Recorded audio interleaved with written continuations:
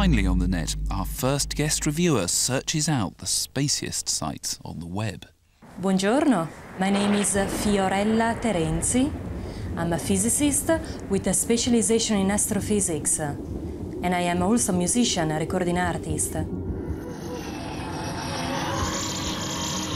I'm very interested in the potential of the internet. A very interesting site which I like to check out constantly is the NASA site. Personally, I like to gather the Hubble Space Telescope almost every day. I like to check which are the new missions they are going to plan. You can preview all these uh, public domain, fantastic computer graphic animation they have, fly by on Venus surface or Mars surface.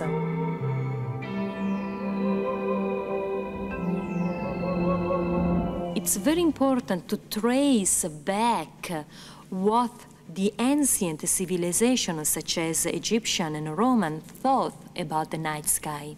You have this fantastic goddess. The sky was a feminine concept. It's a place where life is generated.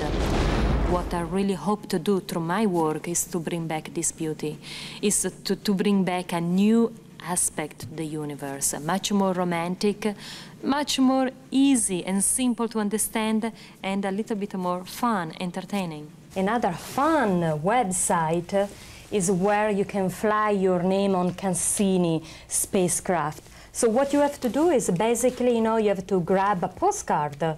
What you do, you sign your name and send it to JPL.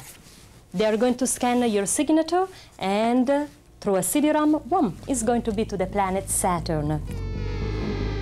One of the things I like to do, I like to draw parallel between uh, what's going on in space and what's going on in everyday life. So maybe I can start my astronomical lesson. Why not to talk about a love affair? I have to tell you that when I point my telescope to space, I see exactly the same.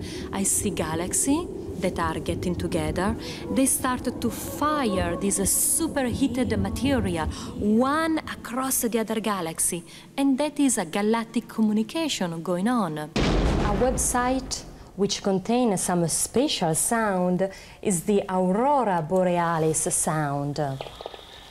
Some people say that these sounds are generated by particles that are being accelerated in our magnetosphere there is also a contribution, they say, from the solar wind.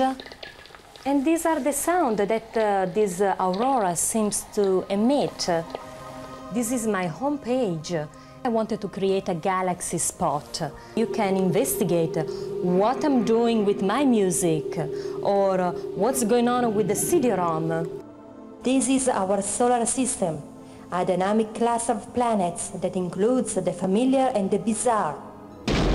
My doctoral research in astronomy involved the conversion into sound of radio astronomical radiation coming from distant galaxies.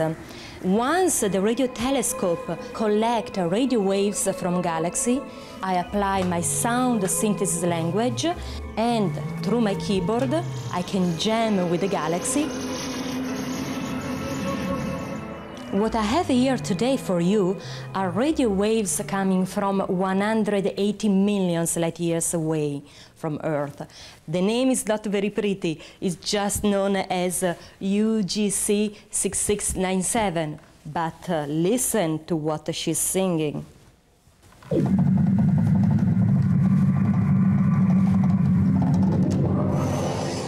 All the signs will be made available to people through art, through music, through video, computer graphic animation, 3D, internet and web.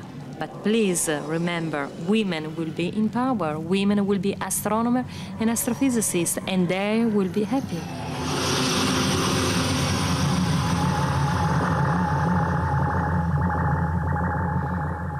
Well, how did you like it?